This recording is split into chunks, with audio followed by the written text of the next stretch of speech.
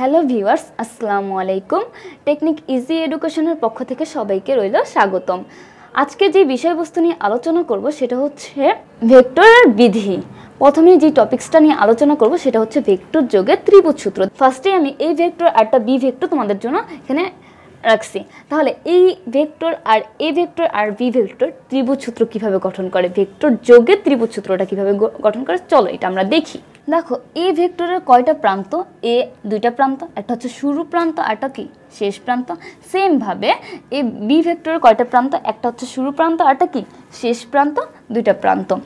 এ vector এবং B vector দুইটা vector যখন আমি যোগ করব, তখন খেয়াল করো এ ভেক্টরটা আমি লিখে আবার দেখো তোমাদের জন্য, সুবিধার জন্য। A vector A vector A vector কয়টা প্রান্ত? দুইটা প্রান্ত। একটা হচ্ছে প্রথম প্রান্ত একটা হচ্ছে শেষ প্রান্ত। যোগের ক্ষেত্রে বি ভেক্টরের যে প্রথম প্রান্তটা আছে আর এ ভেক্টরের যে শেষ প্রান্তটা আছে, সেটার সাথে এক হবে। তাহলে কীরকম হবে একটু? এই যে লাইক এরকম হবে। এটা হচ্ছে তোমাদের বি ভেক্টর এ ভেক্টর আমি আবারও বলতেছি এ ভেক্টরের কয়টা প্রান্ত? দুইটা প্রান্ত এবং বি ভেক্টরের দুইটা প্রান্ত। এ ভেক্টরের শেষ প্রান্তটা এবং বি ভেক্টরের শুরু প্রান্তটা একসাথে যোগ হবে। ঠিক আছে? ওকে আর দেখো, আমি এখানে একটা নাম দিলাম, এই এই শুরু প্রান্ত নাম এ এটাকে দিলাম বি আর এটাকে সি দিলাম। ওকে, এখন এ থেকে আমি বিতে যাচ্ছি, বি থেকে ডিরেক্ট কোথায় যাচ্ছি? সিতে যাচ্ছি। ধরো সিটা হচ্ছে তোমাদের বাসা। তোমাদের বাসা, তুমি এখানে বাসায় যাবা। তাহলে কি করবা? তুমি এখানে বাসায় যাওয়ার জন্য এখানে তুমি আছো। কয়টা স্টেপ ফলো করতেছো?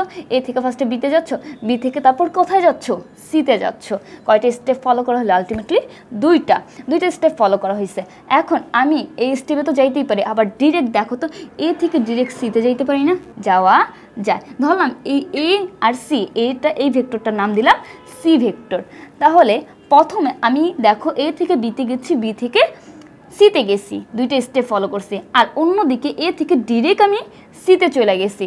এখন আমি কি বলতে পারি না C vector equal to A vector plus B vector দেখো তো C vector equal to A vector plus V vector এটাকে বলতেছে ভেক্টর যোগ, অন্যদিকে এটাকেই বলতেছে ভেক্টর যোগের ত্রিভুজ সূত্র। একটু আগে আমরা ভেক্টর যোগের ত্রিভুজ সূত্রটা দেখে আসছি, এখন দেখব ভেক্টর যোগের সামান্তরিকের সূত্র। দেখো, প্রথমে ও বিন্দু থেকে পি এবং কিউ দুটা ভেক্টর নিয়ে নিচ্ছি এবং পি এবং কিউ ভেক্টর দুটাকে ও বি ও ও এ দ্বারা সূচিত করেছি। আসো, এখন একটা সামান্তরিক অঙ্কন করি। ধরি এই পয়েন্টটাকে সি তাহলে ও এ সি বি একটা সামান্তরিক, আর সামান্তরিকের কর্ণটা কি হবে? ও সি ওকে কর্ণটা কি? ও সি তো দেখো, আমি যদি সিতে যাই, দুইটা স্টেপ ফলো করতে পারি।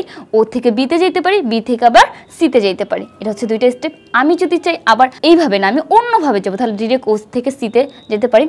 তোমাদেরকে একটু আগে আমি ত্রিভুজের যে সূত্রটা পড়ে আসছি, ওদিকে একটু চিন্তা করো।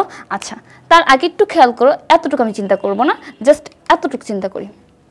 এতটুকু যদি চিন্তা করি, এই ত্রিভুজের ক্ষেত্রে চিন্তা করো। তাহলে দেখো, এখান থেকে বি বিন্দুতে আসছি বি থেকে সিতে আসছি, তাই না? আবার ডিরেক্ট ও থেকে সিতে গেছি। এটাকে আমি আর ভেক্টর ধরে নিলাম, এটাকে আর ভেক্টর ওকে তাহলে কি দাঁড়াইলো বলো তো? আমি কি লিখতে পারি না? O C equal to O B plus B C লিখতেই পারি। O C vector equal to O B vector plus B C vector লিখতে পারি? তাহলে R vector equal to P আচ্ছা তার আগে একটু দেখো। এই বাহু আর এই বাহু কি সেম না?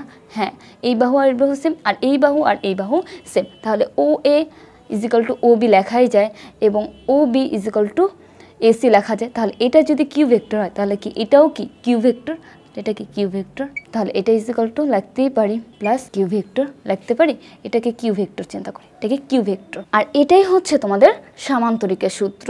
এটাই সামান্তরিকের সূত্র। আর এই আর ভেক্টরটাকে বলা হচ্ছে লব্ধি ভেক্টর। আজকে এই পর্যন্তই। আগামী পর্ব দেখার জন্য আমন্ত্রণ রইল।